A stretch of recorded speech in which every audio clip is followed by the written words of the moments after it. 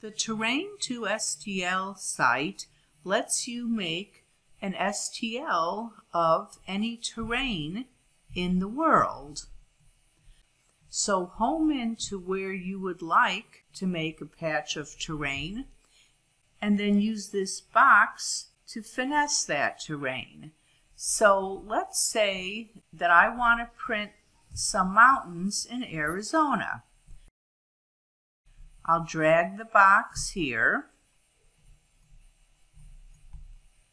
zoom into what I want. Here I can choose to put in coordinates for latitude and longitude and center the box to view, but I'm going to drag it over here. Under Model Details, I can choose the box width and height to capture more terrain. That's a little big, so I'm going to make it smaller. I can choose the box scaling factor.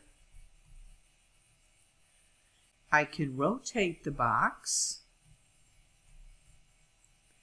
And vertical scaling will exaggerate the height of the terrain. Under water and base settings, the water drop will make oceans less deep to make it easier to 3D print. And the base height will adjust the base that the terrain map is put on. Here are instructions. Now I'm going to click Generate Model and Download. Here is the model that I just downloaded.